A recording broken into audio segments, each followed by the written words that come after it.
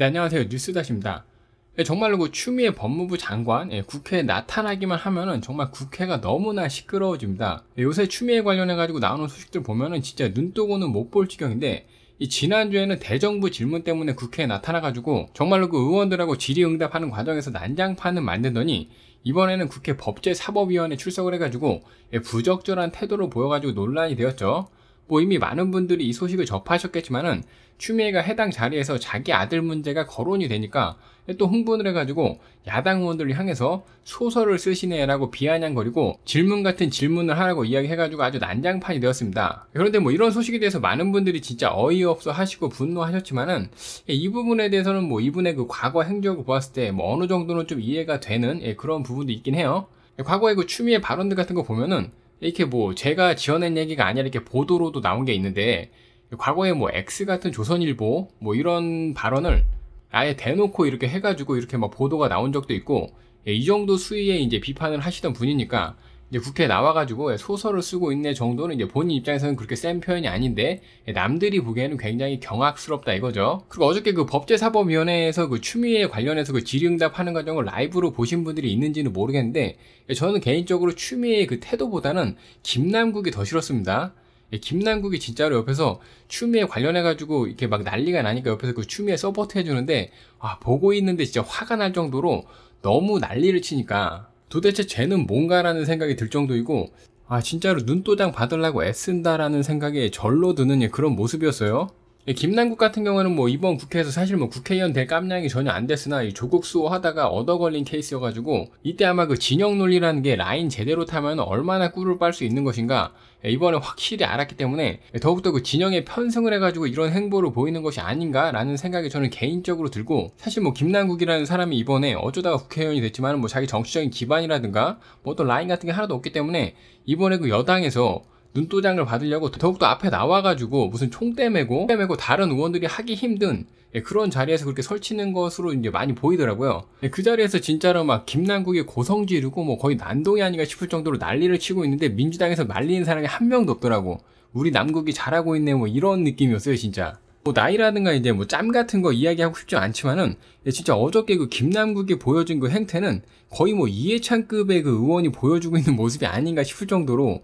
굉장히 그 저돌적인 모습을 보여줬습니다. 아마 그 모습을 보신 분들은 제 말에 예, 꽤나 공감을 하시지 않을까 싶은 생각이 들어요. 아무튼 뭐 서론이 길었는데 이제 본론으로 들어가가지고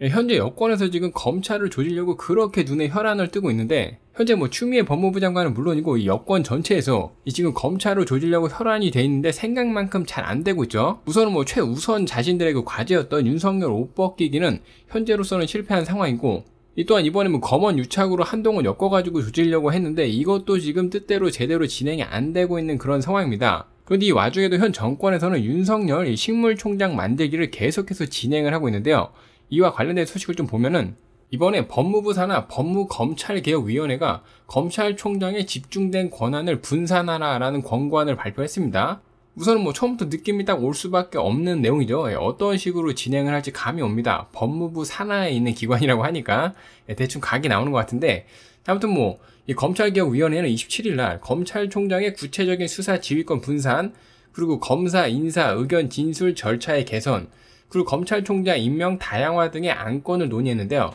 검찰 개혁 위 측에서 발표한 내용을 보면은 검찰총장의 구체적인 수사 지휘권을 폐지해버리고 고등 검사장에게 분산할 것을 권고한다면서 고등 검사장의 수사 지휘는 서면으로 하고 수사 검사의 의견을 서면으로 들을 것을 권고한다라고 발표했는데요. 그러면서 법무부 장관의 구체적인 사건에 대한 수사 지휘는 각 고검장에 대해서 서면으로 하라고 권고를 했고 현행 검찰청법은 구체적인 사건에 한해서 법무부 장관이 검찰총장을 상대로 수사 지휘가 가능하고 수사의 독립성을 위해서 아주 예외적인 경우에만 한해서 수사 지휘를 할 수 있도록 한 상황인데 개혁위가 이번에 낸 권고대로라면은 윤석열 총장은 구체적인 사건에 관해서는 지시를 할 수가 없고 추미애 법무부 장관이 대신 서울, 수원, 대전, 대구, 부산, 광주 고검장을 구체적으로 사건 지휘를 하면서 수사에 관여할 수 있게 되는 것입니다.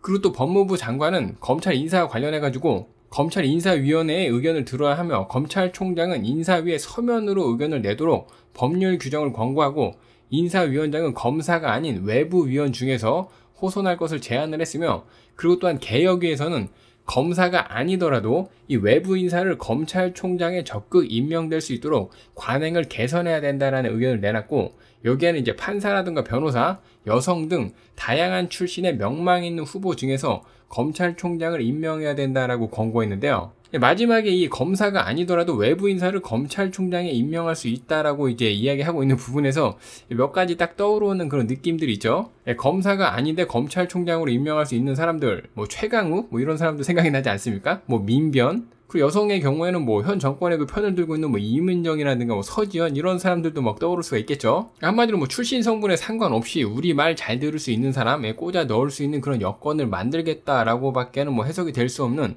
예, 그런 맥락이 아닌가 싶습니다. 아무튼 뭐 개혁위 측에서는 이와 같은 권고안에 대해서 검찰총장에 집중된 수사 지휘권을 분산해가지고 검찰 내부의 권력 상호 간에 실질적인 견제하고 균형이 작동하도록 한 한편 검찰총장이 직접 수사를 지휘함으로써 발생하는 선택적이고 표적적이고 과잉, 별건 수사 등의 폐해를 개선할 수 있다고 이야기하면서 이번 권고안의 의미를 강조했는데요. 네, 이와 같은 권고안에 대해서 조금 더 내용을 자세히 분석을 해보면은 현재 이와 같은 권고안은 검찰총장의 역할을 완전히 무시하는 권고안이라는 의견이 나오고 있습니다. 검찰총장이 하는 역할 중에서 이 가장 큰 역할을 좀 살펴보면은 수사라든가 인사권에 있는 것이 아니라 이 정치적인 외풍의 버팀목이 되어주는 것 이게 바로 검찰총장의 가장 큰 역할인데요. 그래서 검찰 조직은 이 검찰총장을 정점으로 피라미드화 되어 있는 그런 모습을 보이고 있는 것이고 그래서 법무부 장관이 이번의 경우처럼 수사 지휘권을 발동을 하더라도 이 총장만을 대상으로 지휘를 할 수 있게 되어 있고 일선 검사들을 건드리지 못하도록 되어 있는 것입니다.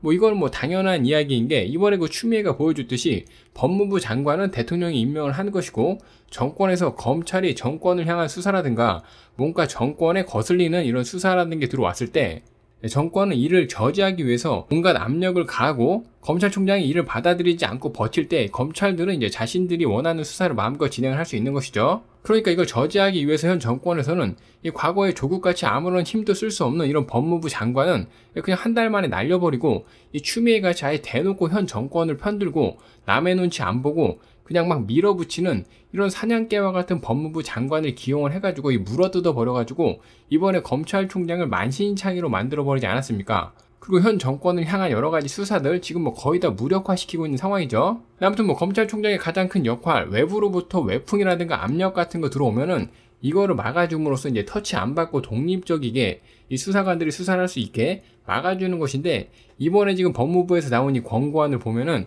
이거는 사실상 총장의 권한을 아예 없애버리겠다라는 말이나 다름이 없고 이 권한을 이 고검장들에게 분산을 시켜버리고 여기서 한 발 더 나아가서 이 고검장들이 독립적으로 수사를 하게 냅두는 것도 아니고 이거를 또 법무부 장관이 지휘를 하겠다라는 것인데 이럴 거면 이제 검찰총장이 아예 필요가 없다라는 말이랑 이제 다를 게 없는 얘기죠. 조금 아까도 말씀드렸다시피 법무부 장관은 대통령이 임명을 하고 만일에 뭐 대통령이 뭔가 이 수사를 하고 싶은 부분이나 또는 수사를 막고 싶은 게 있다면은 이거를 자기가 임명한 법무부 장관에게 오더를 내리고 법무부 장관은 자기가 직접 이 고검장들한테 이걸 수사하라고 하던가 또는 하지 말라라고 이제 오더를 내리면은 이거는 사실 뭐 검찰 조직 자체를 정권의 그 편으로 만드는 거, 뭐 정권의 사냥개로 만드는 거 이상도 이하도 아니기 때문에 사실상 이번에 그 권고안은 검찰 개혁이 아니라 이거는 개혁이라는 비판이 나올 수밖에 없다라고 지금 많이들 보고 있습니다. 그리고 또 다른 의견을 보더라도 이번에 그 검찰 개혁안은 그냥 대놓고 검찰을 무력화시키는 것이고 사실상 이 추미애 법무부 장관 보고 그냥 검찰총장도 같이 하라는 말하고 다를 게 없기 때문에 지금 이러한 권고안을 내면서 무슨 검찰 개혁이네 뭐네 이런 식으로 말을 돌리지 말고 차라리 솔직하게 이번 정권에서 검찰을 해체시켜버리는 편이 더 솔직해 보일 것이라는 비판까지 나오고 있습니다. 그리고 이번 권고안의 목적은 사실상 검찰 개혁이 아니라 검찰 무력화가 목적이라는 것 외에는 설명할 길이 없어 보인다라는 비판이 나오고 있는데요. 네, 뭐 여기까지만 말씀을 드리더라도 이번에 이 권고안의 목적이 무엇인지 예, 웬만한 사람들은 뭐 다 알 수 있을 것이라고 생각이 들고 현 정권이 진짜 입에 달고 사는 말 중에 하나가 검찰 개혁인데 예, 정말로 제대로 된 검찰 개혁을 하려는 그런 의지가 있었으면은 예, 정권 초반부터 검찰 측하고 잘 이야기하면서 조율하는 모습을 보여줬다면은 그 진정성은 어느 정도 인정을 받을 수 있었을 것이라고 생각이 드는데 자신들이 임명을 하고 자기들 편이라고 믿고 있었을 때는 아무에게 하지 않고 있다가 자신들의 치부를 들추니까 검찰 개혁이라는 목적으로 이런 식으로 지금 검찰을 무력화시키려는 것 어느 국민들도 현 정권이 보여주고 있는 이러한 모습 때문에 예, 검찰 개혁이라는 그 진정성을 예, 믿기는 좀 힘들 것 같습니다. 이번에 그 추미애가 법사위에 나와가지고 보여준 그 모습이 아마 이번 권고안의 축소판이 아닐까 싶은 생각이 드는데 완전히 권력으로 중무장한 이 법무부 장관 주변에 그 홍위병들이 둘러싸고 예, 추미애 장관을 향해 가지고 뭔가 질문이라든가 껄끄러운 얘기를 아예 하지도 못하게 아주 난리를 치고 있던데 이번에 권고안이 현실화되면은 이 법무부 장관이 검찰까지도 쥐고 흔드는 그런 모습이 예, 재현되지 않을까 싶습니다. 이번 소식은 여기까지 하겠고요. 여러분의 의견 어떠신가요?